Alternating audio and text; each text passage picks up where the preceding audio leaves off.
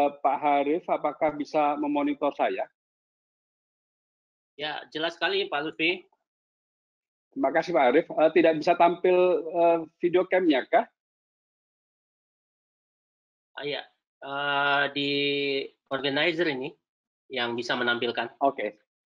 Uh, minta tolong ya. untuk organizer menampilkan Pak Harif. Dari pihak Atau langsung saja ke, ke silakan. Ya barangkali Pak. Permintaan webcam. Ya. Minta tolong tampilkan ya. dulu saja presentasi punyanya Pak Harif kepada panitia.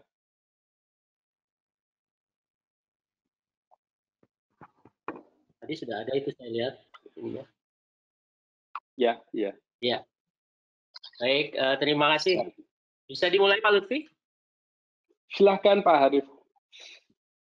Terima kasih Pak Moderator. Saya ucapkan terima kasih Pak Supriyantoro selaku Ketua IKESINDO yang memprakarsai pertemuan ini dan uh, menjadi pembelajaran yang baik terutama buat kami para perawat-perawat yang sedang um, memberikan pelayanan.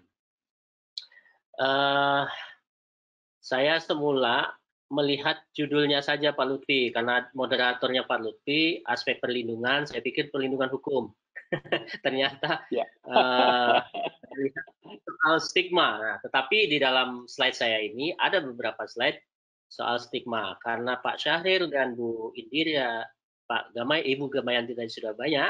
Jadi saya alhamdulillah ini terbantu sekali. Terima kasih.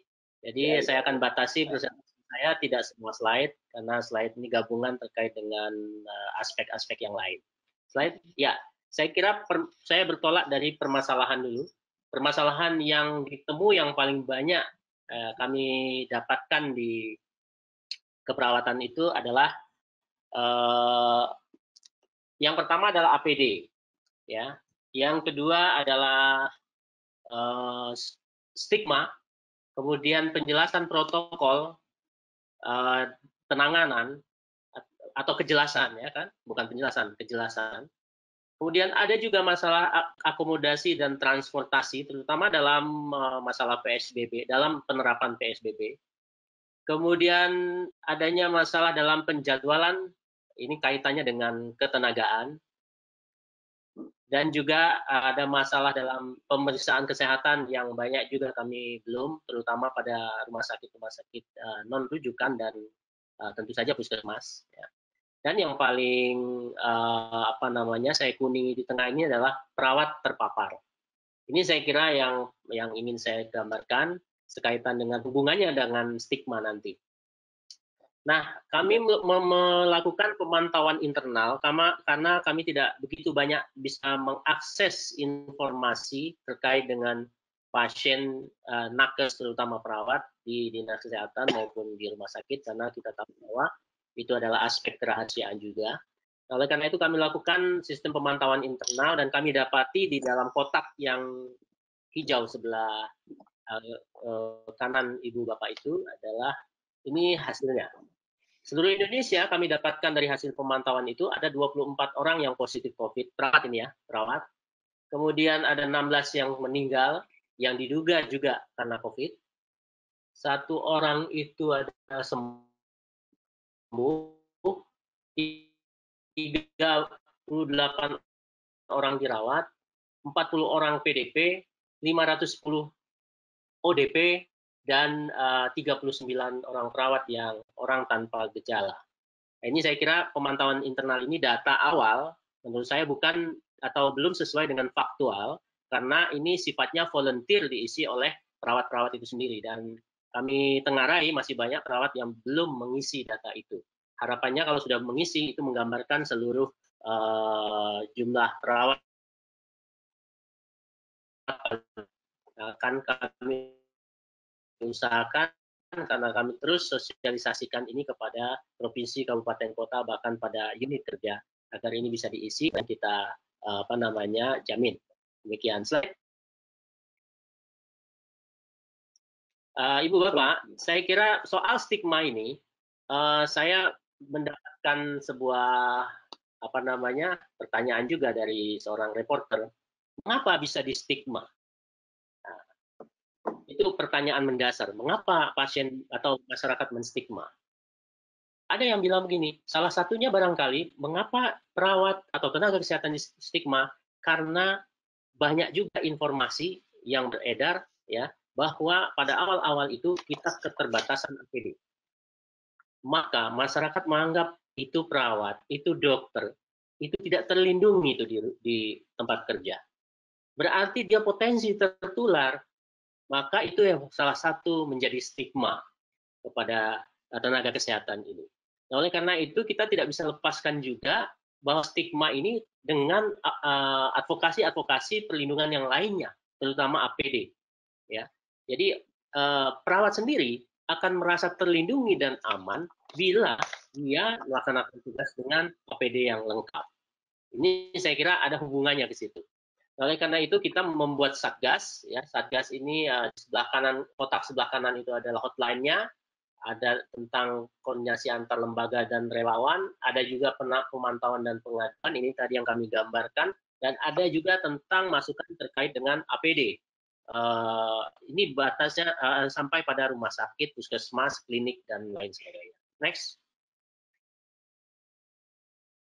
Ya, ini APD saya singkat saja bahwa uh, kita telah membentuk uh, hotline uh, Hotline ini kami tampung ada 933 rumah sakit seluruh Indonesia di 26 provinsi, 300 3.840 puskesmas. Ini sudah kami laporkan pada gugus tugas Kementerian Kesehatan dan tembusan DPR RI. Eh, nama, adresnya lengkap kami sampaikan ke sana. Kemudian juga ada himbauan mencegah paparan. Ya, kami juga membuat pena, uh, buklet untuk penanggulangan uh, paparan dari penggunaan alat pelindung diri oleh eh, PPNI dan Himpunan Perawat Pengendali Infeksi, dan juga advokasi dan bantuan APD. Advokasi kepada pemerintah, ya kepada lembaga lain. Alhamdulillah beberapa lembaga juga melakukan donasinya kepada eh, PPNI, bahkan ada partai. Dan kami PPNI sendiri uh, bersama-sama anggota itu saling iuran juga untuk membantu teman sejawat Bahkan bukan hanya di dalam negeri, teman kami yang di Kuwait, di Qatar, Uni Emirat Arab pun saat ini aktif untuk mengumpulkan donasi untuk membantu teman-temannya di Indonesia. Dan ini sudah kita lakukan dan sudah kita distribusikan uh, sudah dua tahap. Next. Lanjut. Lanjut. Ya, ini juga uh, dalam konteks uh, eh, APD, ini kita bersama lima organisasi profesi uh, pada tahap awal ini mengadvokasi. Lanjut. Ini distribusinya APD kita. Ya, sudah. Nah, tahap tiga ini sedang berlangsung. Uh, distribusi tahap tiga ada 1.650 unit ke seluruh uh, 34 provinsi dan ini dari sebuah partai ini saya sampaikan juga. Uh, ini Partai Nasdem ini kalau nggak salah memberikan uh, kepada tiga organisasi profesi untuk distribusikan ke seluruh Indonesia. Lanjut. Nah, mengenai stigmatisasi, ya saya kira beberapa hal yang disampaikan Dr. Sahril tadi, uh, itu tiga orang itu masuk dalam data kami dari 16 kasus stigmatisasi yang dilaporkan oleh Komisariat PPNI. Ada beberapa banyak lagi yang tidak terlaporkan secara resmi, tapi merupakan pengaduan yang sifatnya curhat ya di dalam uh, hotline kami. Tapi ini yang 16 kasus ini betul-betul laporan bertingkat dari Komisariat, DPJ, DPW. Nah, itu uh, berada di Jakarta, Banten, Jateng, Sulsel, Palembang, Jawa Barat. Dan itu antara lain adalah diminta keluar dari kosnya atau kontrakan, ditolak di lingkungan tempat tinggalnya, ditolak pemakaman jenazahnya, ada pengaduan stigma oleh sesama tenaga kesehatan ini sudah mulai ada juga. Nah, ini saya pikir ini menjadi menjadi PR juga buat kita para organisasi profesi agar sesama tenaga kesehatan ini tidak juga boleh harus saling menstigma. Karena ini sudah dialami oleh perawat di beberapa tempat. Lanjut. Ini ada hasil penelitian atau survei dari uh, Fakultas Ilmu Keperawatan Universitas Indonesia bersama bekerja sama dengan Ikatan Perawat Kesehatan Jiwa Indonesia yang dilakukan tanggal 6 uh, April sampai dengan 13 uh, April yang lalu itu dengan responden 2.132 orang. Dari sana ada sekitar 384 orang itu atau 18 persen responden itu me, mengalami experience stigma, artinya yang faktual. Ada perceive stigma, ada juga experience stigma. Nah, yang experience stigma inilah yang kami sampaikan itu 18 persen atau 382 dari 2.132 uh, responden yang diberikan. Antara lain kalau kita lihat di kotak sebelah kiri ada yang mengalami kondisi orang-orang sekitar menghindar dan menutup pagar pintu saat um, melihat perawat. Pernah uh, pernah diminta, pernah diminta menjauhi lingkungan tempat tinggal, menyatakan tidak diperbolehkan menggunakan transportasi umum, mengalami penolakan dari keluarga, mengatakan masyarakat sekitar tempat tinggal menolak berbicara dengan keluarga mereka dan mengalami pengusiran di tempat tinggal, dilarang untuk menikah. Nah ini unik sekali, dilarang untuk menikah oleh keluarga ataupun masyarakat yang ada di lingkungan tempat tinggal. Kemudian mengalami penolakan memperpanjang sewa rumah, mendapat ancaman diceraikan oleh suami sampai ke situ rupanya, dan juga dipaksa untuk bercerai. Ini saya kira uh, uh, data yang diambil dari survei eh, teman-teman uh, kami di Fakultas Ilmu Keperawatan. Terima kasih FIKUI dan IPKJI. Next. Lanjut. Lanjut. Tolong dari panitia. Oke, kalau Next. kalau agak lambat ya. saya langsung saja saya ini uh, pers apa pers release kami Uh, pertama PPN membuat press release, kemudian uh, diperkuat lagi secara bersama-sama yang kita sesama tenaga kesehatan menolak stigmatisasi. Karena stigmatisasi ini tidak beralasan dan dapat menurunkan daya juang uh, dari tenaga kesehatan itu sendiri. Lanjut. Oke, ini saya kira persoalan lain terkait dengan penerapan PSBB, PSBB ya. PSBB sorry. Next. Saya masih ada soal stigma. Oke. Okay. Tadi Ibu Gamayanti sudah menyampaikan bahwa beberapa hal secara konsepsi. Tetapi uh, tekanan psikologis dan kecemasan teman-teman itu tampak pada saat uh, mereka di, menerima stigma tersebut. Uh, ditandai dengan mereka melakukan uh, pengaduan kepada komisariat PPNI, kepada pimpinan, dan lain sebagainya. Ada juga penurunan motivasi saya udah capek-capek bekerja di sini tapi nggak dihargai. Kira-kira begitulah. Gangguan proses keluarga tadi yang terakhir dan lain sebagainya. Dan pada akhirnya ber, eh, bisa saja menghambat pelayanan. Yang saya maksud menghambat pelayanan ini adalah karena mereka harusnya pulang bekerja, harus kemudian istirahat, siap kerja pagi, tapi mereka menginap di rumah sakit yang uh, pakaiannya tidak ganti dan lain sebagainya. Akhirnya tidak siap kerja. Ini menghambat pelayanan yang ada uh, pasien. Lanjut. Oke, saya kira ini saya udah di hujung-hujung, cuma saya ingin sampaikan uh, ada beberapa slide yang belum uh, masuk di sana tadi, tetapi ingin saya sampaikan bahwa uh, yang pertama adalah uh, stigmatisasi tersebut menurut kami adalah karena disebabkan oleh ya tadi mispersepsi itu kalau bahasa awam kita sih bahasa kita adalah kurang apa kurangnya pemahaman ya, tentang apa? Tentang karakter daripada COVID ini. Terutama apa? Terutama adalah bagaimana penularan. Ya, penularan itu kan cuma dua jalannya, kontak dan droplet. Nah, fokus kritisnya ini di sini sebenarnya.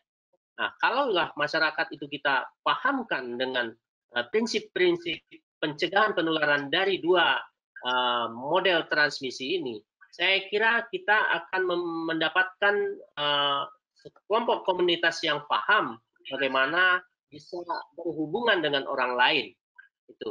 Nah, tetapi karena tadi Ibu Gamayanti saya sampaikan bahwa informasi yang didapat itu juga bukan hanya dari informasi yang formal, tapi informal, media sosial, hoax dan sebagainya.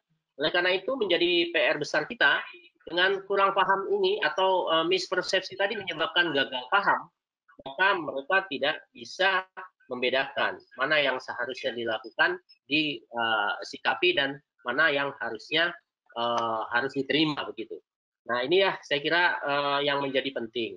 Namun tadi ada hubungan yang menurut saya ada kaitannya bahwa uh, kalau toh sambil jalan kita juga membenahi APD kita kita cukupi, saya juga punya keyakinan masyarakat akan lebih mempercayai tenaga kesehatan itu adalah yang aman untuk bagi mereka. Nah, apa tipsnya kira-kira? Di beberapa media sudah saya sampaikan bahwa untuk bisa mengurangi stigma ini, maka yuk kita bersama-sama semua turun ke lapangan dalam konteks ke lapangan yang dalam arti memberikan pemahaman kepada masyarakat semua komponen.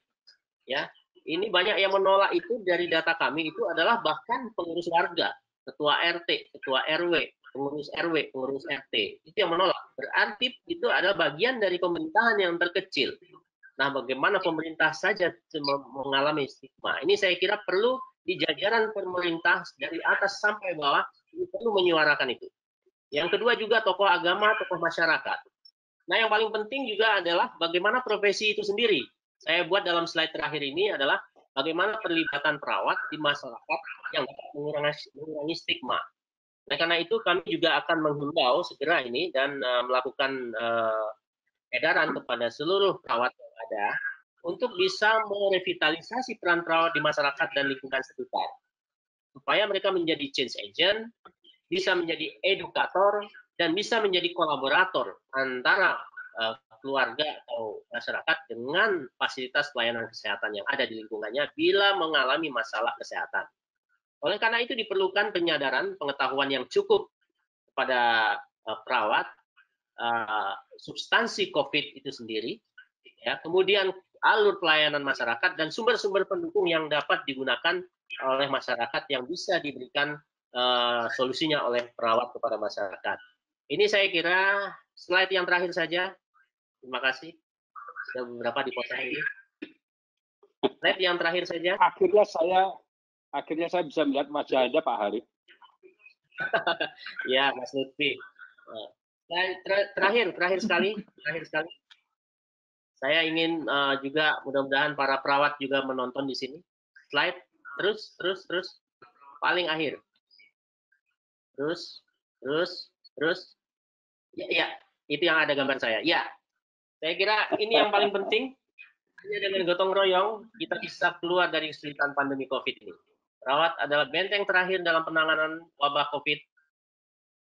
Kelangsungan bangsa ini sangat tergantung juga dengan perawat. Maka kuatkan pertahanan kita dalam bersatu melawan COVID. Terima kasih. Assalamualaikum warahmatullahi wabarakatuh.